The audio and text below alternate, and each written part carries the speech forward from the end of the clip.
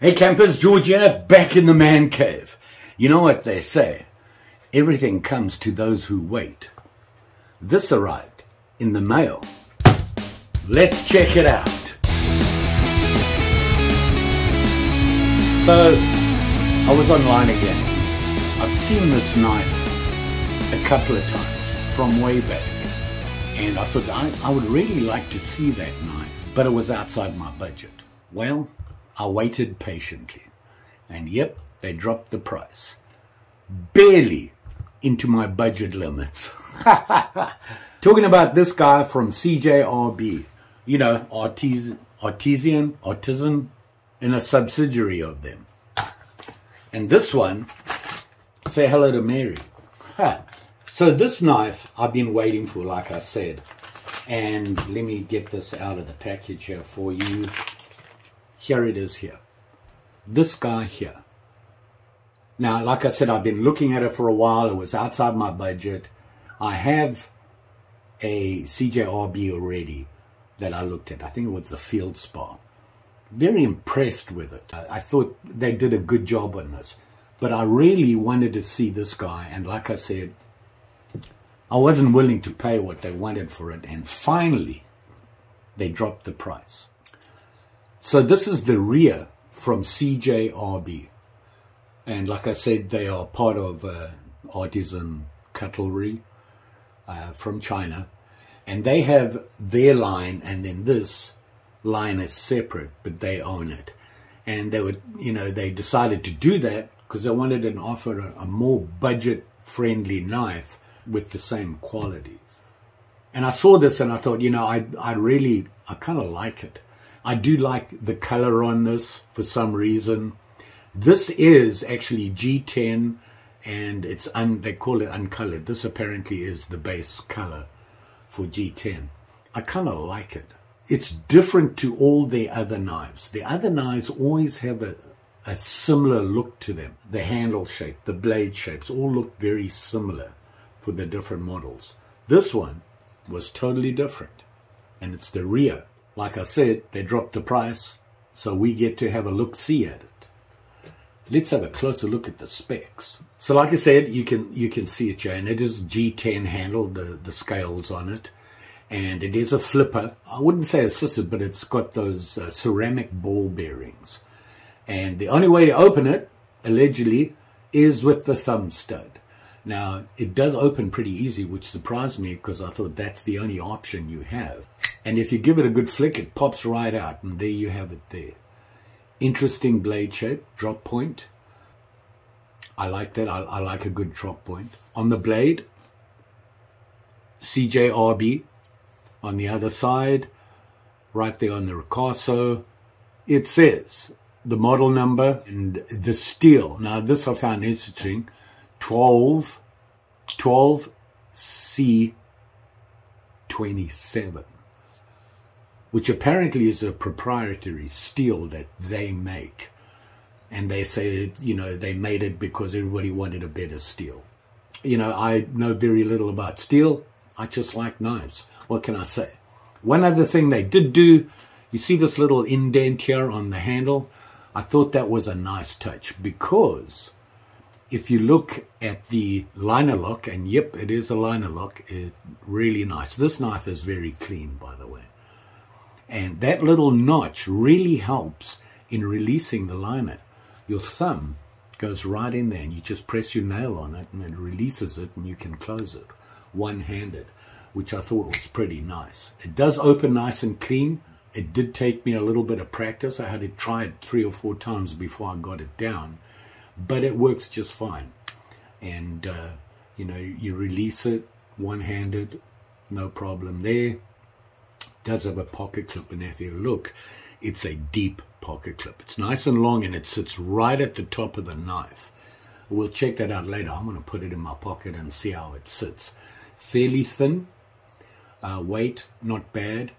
I do like the feel of this G10 it's not smooth and it's not rough. It's it's really right in between. It's like a really really fine sandpaper which is a, a good feel. And you know I I really like this knife. You look at it, it's very clean. It's a pretty looking knife that's very plain but well made. It's there's no gaps anywhere. The blade lines up right dead center. Another thing, and I was looking at the specs and I saw it in there when I was looking in the knife and I was like, what is that? And let me show you this. If you look in there, can you see it? This thing here, it's got a hole in it, okay? And I touched it and it turns, it spins. And I thought, what is that? Well, they call it a discrete lanyard hole. And I thought, uh, that's going to get in the way of the blade and whatnot. And no, it doesn't because it's on the bottom side, has nothing to do with the working side of the knife. And it's really out of the way of the blade. But I've got to say that overall, I like this knife. It locks in. And there is no movement whatsoever on this knife. Very nice. Interestingly enough, they say the CJRB product line was ambidextrous. This is not. That clip is only on one side. My left hand, how am I going to open it? With my forefinger? Don't think so. So th that was interesting. I, you know, you know me. I read up, look up, check out everything before I spend my hard-earned pennies on it. And I liked what they said. Kind of disappointing that it's not ambidextrous. Is it a big deal? I don't think so. I think most left-handed people are used to this, used to the fact that the manufacturers don't care enough about them. I'm, I'm kidding. They care. Six and three quarter inches, open, tip to butt. Uh, the blade, it's three inches from the tip to the top of the handle.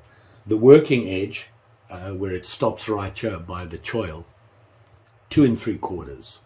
So not bad. Nice thumb stud. Like I said, this is a very clean knife. I really like the look of this knife. The handle, very plain. Look at that. You can't get any plainer than that. It's almost straight. Got a little dip in it here, slight dip to it. And I really like that idea. It really makes releasing the blade very easy and one-handed operation. Now, I did try opening it without using the thumb stud and you can give it a good flick and it pops open, but it takes quite a flick to do it.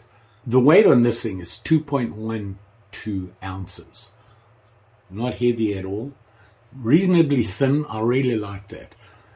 The interesting thing that I found about it was the steel material. This is what they call it our proprietary 12C27 steel that perfectly blends edge retention, corrosion resistance, and ease of sharpening.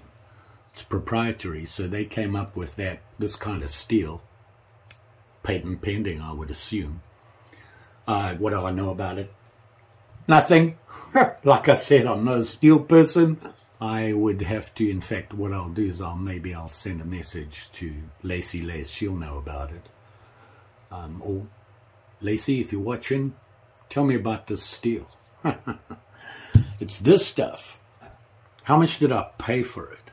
Well, interesting question. On their website, twenty nine ninety seven, discounted. I got this on Amazon, thirty three ninety nine, thirty four bucks. Like I said, right on the bubble for me to spend on a, a folding knife. I got to say though, I'm not unhappy about it. I like this It's very clean, pretty knife. And uh, I really like the feel, the shape. How does the pocket clip look? Let's have a look, see here. Uh, yeah, look at that. Very deep. Right there, nothing sticking out of the top of the clip. Nice. Not too heavy. Uh, can't really feel it in my pocket. Um, nice. That works. And like I said, you know, it's it's a liner lock, uh, thumb thumb stud to flip it open, ceramic ball bearings, becoming uh, pretty much a an everything on a lot of the new knives. This is not new. Don't get me wrong. It's been around a while. I waited for it. But I like it. I think it's been worth the wait. Is it sharp? Hmm. Let's check it out. Data sheet here. Wow. Wow. That can curve it. I just need to hold the paper better. So I can whisk around with it. Uh, what else can we cut with it? Oh, I cut a lot of cardboard at work and it seems to do pretty good. Can't complain about that. So, there you have it.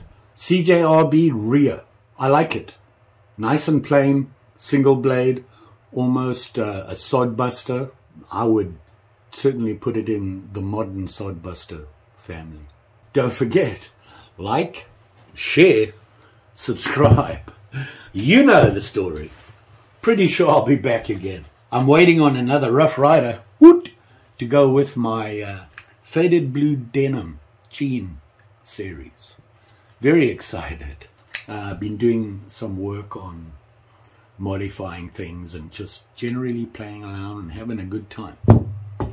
Summer's coming to an end. I was just outside this morning having a cup of coffee, answering your uh, comments, and notice the leaves are starting to fall. Ooh, yeah. If it's not snow, it's leaves. What can I say? Minnesota. You'll be safe out there, especially with these sharp and shinies. Just say. Thanks for watching. See you again soon. Bye.